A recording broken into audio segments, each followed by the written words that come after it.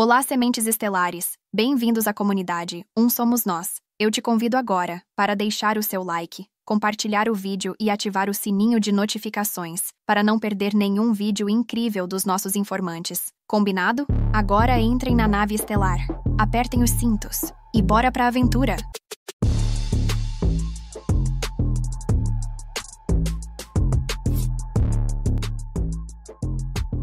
I am with JP. It is Monday, November 6th. Estou com JP. É segunda-feira, 6 de novembro, e ele teve uma visita envolvendo alguns extraterrestres nórdicos. Então seja bem-vindo, JP, à Exopolítica hoje. Como você está, doutor? Eu realmente aprecio esse momento que estamos vivendo, e esse momento que estamos conversando, e trazendo essas lindas informações para todos vocês. Você está ouvindo as traduções Exopolítica hoje, com o Dr. Michael Sala, sua fonte para a verdade sem censura, sobre a agenda global e política extraterrestre humana. Clique no botão curtir e se inscreva neste canal. E agora aqui está, o Dr. Michael Sala. Quando essa visita aconteceu? Isso aconteceu há dois dias. Então estamos conversando no sábado, 4 de novembro. Certo, então você pode descrever o que aconteceu? E onde você estava? Eu estava dirigindo meu carro, e eu vi uma luz seguindo a parte de trás do carro, e eu pensei, cara, o que é isso? Que diabos é isso? Então eu parei. Já estava escuro, era noite, era perto de nove horas. Eu parei e pensei novamente: o que diabos é isso? Então olhei para cima e vi uma linda nave. Era como a nave que vi em Orlando, que eu tenho uma foto linda dela. Daquele que tinha escotilha, porém essa foi a noite, era uma nave, linda. Um dos meus amigos, na verdade, tem um vídeo dela, então ainda estamos brigando para conseguir aquele vídeo para vocês verem e ver se aquele vídeo poderia ser divulgado ao público, para que possam ver a nave. Mas ela estava mais longe, é interessante que conseguimos um vídeo. A nave pousou na área da mata, então estacionei meu carro e comecei a caminhar em direção à mata para ver. Eu senti uma vibração boa, por isso caminhei até a floresta, foi semelhante à mesma sensação que tenho quando visito os arcos. Sabe, quando eu fui e toquei a nave lá no Brasil, eu senti essa vibração, foi a mesma sensação. Então comecei a caminhar pela mata, e vejo ao longe, eu vejo aquela linda nave, que estava brilhando, com uma cor branca azulada, branco azul azulado, branco de cor brilhante. E então diminuiu, realmente diminuiu para uma cor fluorescente azul marinho, e pousou. Estava zumbindo, então eu pensei, você me ouviu? Eu não ouvi nenhuma resposta, então continuei andando em direção à nave. Eu vi um nórdico, ali parado, e ele levanta as mãos, ele fez assim, como se ele colocasse toda a palma da mão inteira assim, e ele fez isso comigo.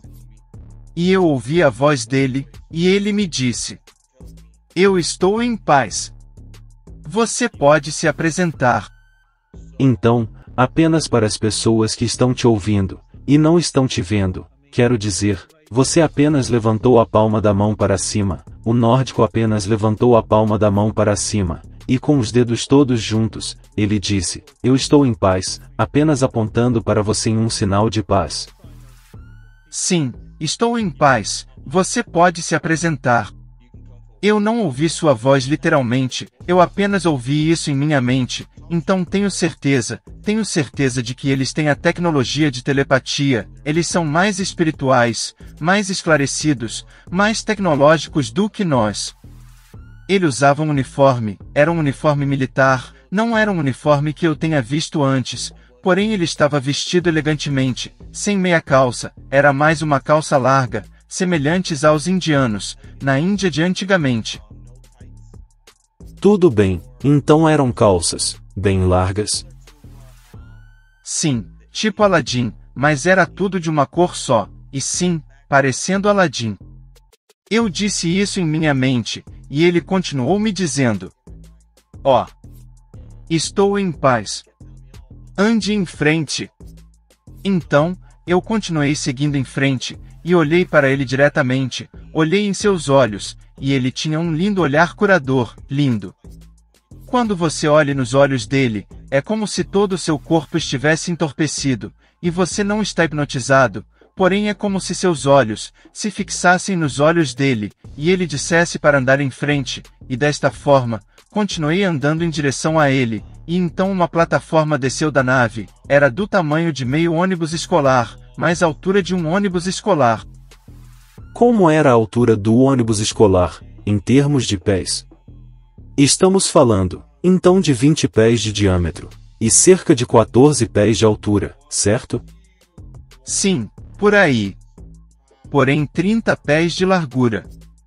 Redondo, como se você medisse de cada ângulo, seriam cerca de 30 pés, era típico de um disco voador, mas era mais suave até as pontas, mas era um tipo de disco voador.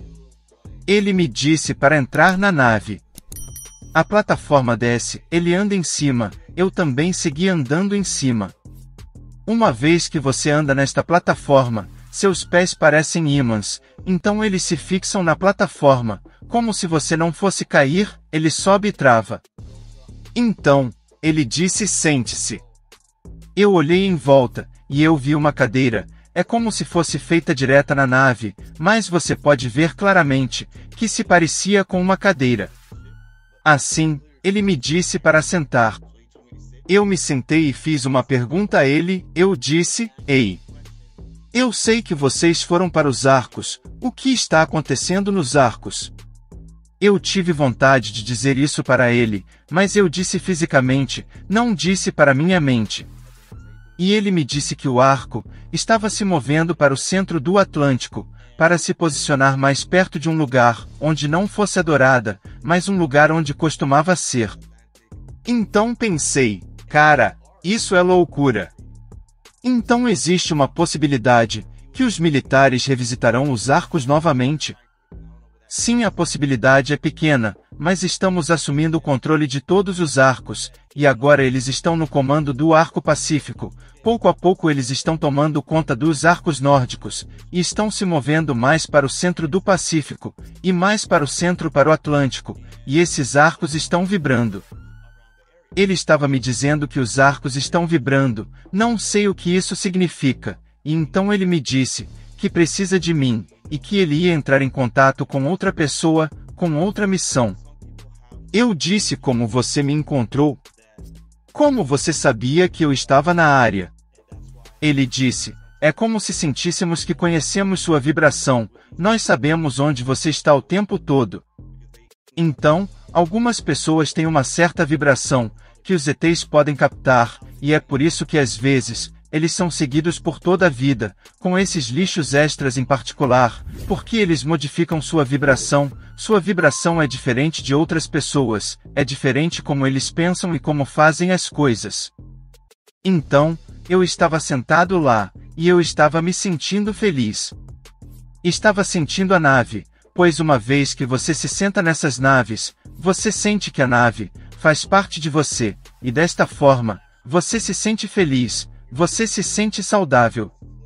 Você sente a nave conectada a você facilmente, e muitos flashes passam pelos seus olhos, como quando você está piscando. Você pisca como se você visse nuvens então você abre os olhos, você pisca, e vê outros mundos como belas paisagens, onde a nave esteve. Eu disse ao nórdico, qual é o seu nome? Ele me disse que seu nome era Giefes. Eu fiquei tipo, Ok, legal. Nome incrível. Há uma razão pela qual você quer que eu vá nesta nave? Ele me disse que queria que eu tomasse e bebesse algo que tinha na nave, então ele me deu um lindo copo, parecendo ser de vidro, mas era mais grosso, um copo de vidro grosso, e tinha uma substância azul dentro dele.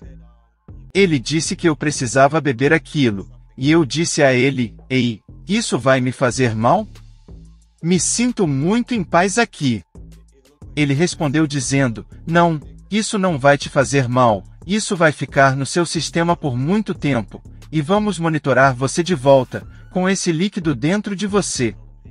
Ele se conecta aos seus ossos, e é absorvido pelos seus ossos quando você bebe. Então eu bebi e tinha um gosto parecido com uma mistura de abacaxi com limão. Não deixou um gosto ruim, mas sim um perfume. Você sabe, quem já borrifou perfume na boca, dá aquela sensação ruim na boca. Sensação que você sente, porém não dói. Tem gosto residual, que não era tão agradável, mas ele disse que era normal ter aquele gosto, e que desaparece em algumas horas. Mas eu tinha aquele gosto na boca, daquele gosto de chocolate amargo, e depois desse gosto de chocolate amargo, eu me senti bem, me senti iluminado, me senti como se eu estivesse obtendo mais informações, e senti uma necessidade. Eu acho que eu já falei para você, acho que há duas, ou uma semana atrás, eu senti vontade de construir um tipo de tecnologia que estava construindo antes. É um tipo de tecnologia de cura, e acho que depois da entrevista, vou perguntar a sua opinião sobre isso, não posso falar sobre isso agora. Mas é um tipo de tecnologia de cura, porém é uma versão melhor, que usa cristais e outras coisas que acho que podemos usar e que podemos encontrar na Terra. Então vai ser bem interessante. Então, ele me deu aquela bebida, se levantou e chegou perto de mim. Ele abaixou a mão e me colocou na plataforma. Então ele me olhou e começou a chorar, e eu olhei para ele e pensei em minha mente, eu disse por que você está chorando? Ele disse, é por causa do que a humanidade se tornou, as coisas podem mudar dramaticamente nesta linha do tempo. Foi isso que ele disse para mim. Então há algo acontecendo, com um tempo temporário, algo com linhas do tempo, que estão acontecendo agora, que é realmente agora. Acredito que todo mundo deveria estar agora, neste momento, com um coração positivo e muito mais amável neste momento. Porque quando há muito ódio, quando há muitas coisas acontecendo ao redor do mundo, é quando os cronogramas ficam confusos, e certas coisas podem voltar, e certas coisas podem se desenvolver, que podem danificar algumas das coisas que estão acontecendo. Gratidão a todos que chegaram até o final de mais um vídeo incrível. Se o conteúdo que trazemos aqui, com tradução por voz, está sendo útil para você, nos ajude deixando seu like, seu comentário e compartilhando. Dessa forma, o YouTube considera a relevância deste trabalho e assim pode levar o vídeo para mais pessoas, para mais sementes das estrelas. Até breve. Eu vejo você.